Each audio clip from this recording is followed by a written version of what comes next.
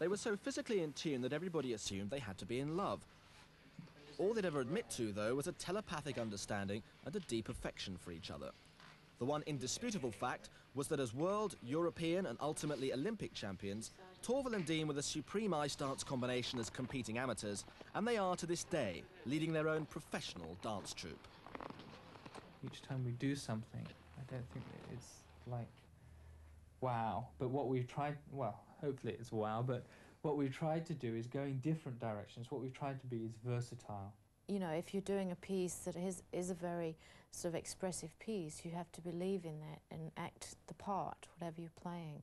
So the costume and the way you act and the way you feel about it inside it as you're doing it all has to sort of come together as well as being able to skate at the same time. What we tried to do is have a control over our body and what we've tried to do is absorb as much um, dance, art, um, impressions lots around of information. us. Just lots of information. And that's our way of expressing it is on the ice. A writer, it's words, a painter, it's pictures, and for us, what we want to say or do comes out of our skating. His father was a miner, hers a factory worker, both in Nottingham. After a series of ice dancing and ice skating partners, their association began as teenagers and continued as she became an insurance clerk and he a policeman. The first time we actually skated together, I think it was something like six o'clock in the morning in a cold, dark, ugly ice rink. It wasn't inspiring at all. And uh, when we first started, the bells didn't ring or anything like that. It was just very methodical, just sort of taking the other person's hand and holding them. And it was all, very polite. very polite and awkward. But, um, you know, after time, that things get easier when we get into a working routine. And uh, really, it was just a progression. We gave up our jobs before we had any kind of sponsorship and we relied on our savings. And obviously our parents would have helped us a little bit. But fortunately, in the year of between 80 81, our city council decided to come through with a sponsorship. What made it even better was the fact that we, we not only got a bronze, we got a gold medal the next year. We, we were expecting, you know, the most to maybe get a bronze medal. They danced to anything, pushing to the limits the traditional rules and constraints of ice dancing. And their devil-may-care but skillfully planned programs took them to a first world title.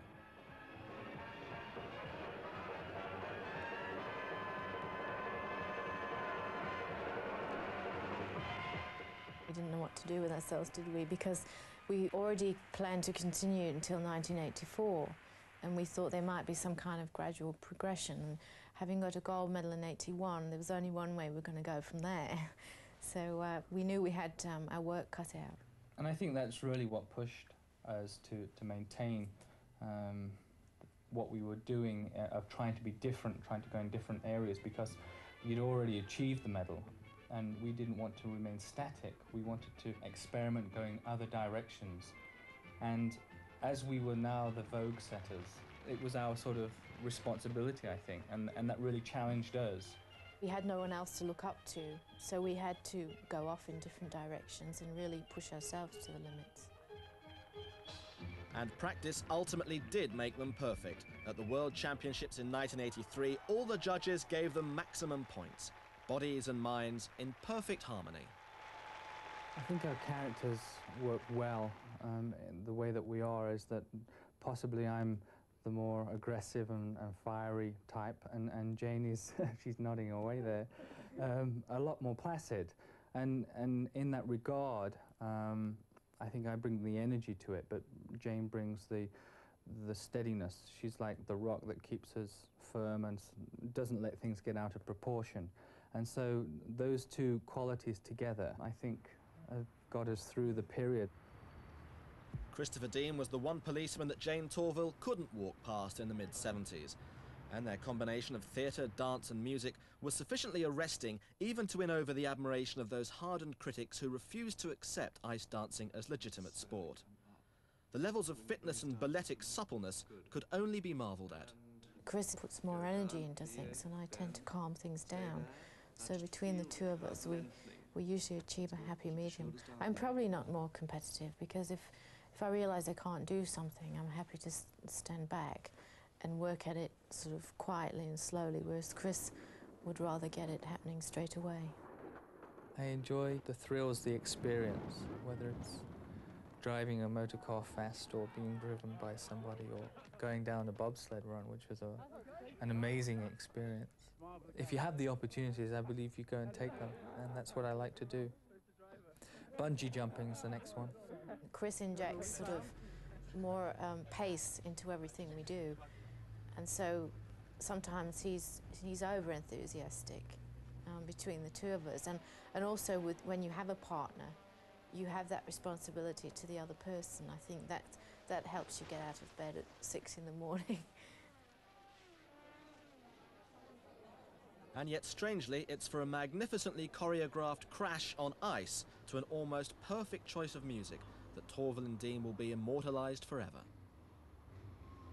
In competitive skating, we were always looking for that piece of music that was original, but at the same time Yeah. easily Identifiable with you know people and something you could, if it was a piece that was original, you could easily sort of sway to it or keep the rhythm of it or had to catch the person that was listening to it Yeah. almost immediately. But at the same time, it had to be a piece of music that we're going to be comfortable with for about nine or ten months yeah. because we're going to be working with it day in, day out, and it has to sustain that length of time.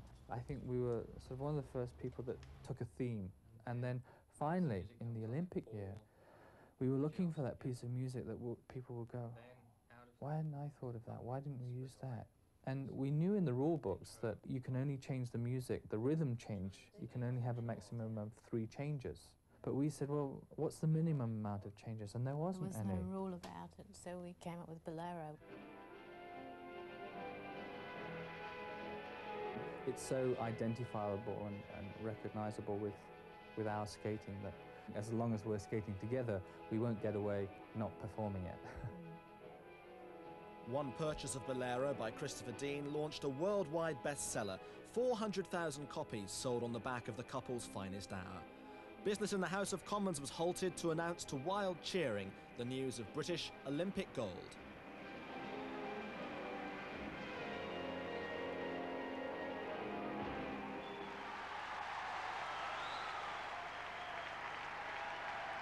The special moment was actually when they put the medal around your neck. I think for me, it was just the same that when you actually get the medal and that's it, you've achieved it.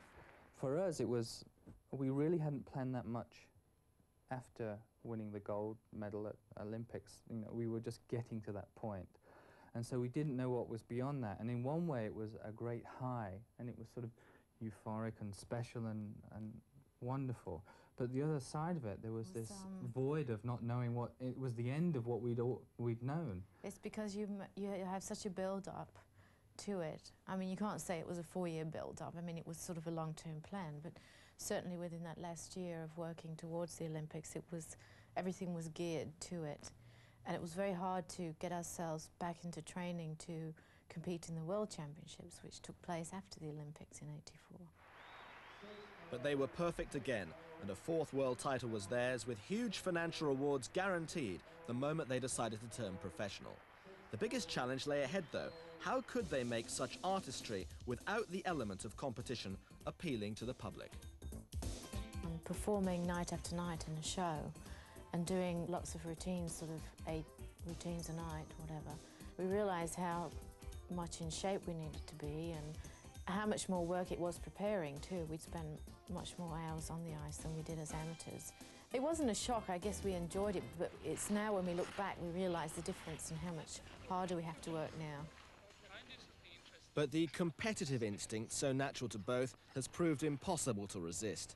Reinstated in the Olympic movement, Lillehammer in 94 represents their greatest challenge yet. With both in their mid 30s now, youth is no longer on their side. Head up now. Reach.